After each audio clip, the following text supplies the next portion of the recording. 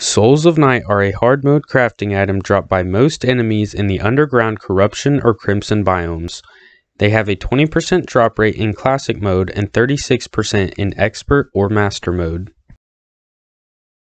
Make sure to like and subscribe for more Terraria tutorials.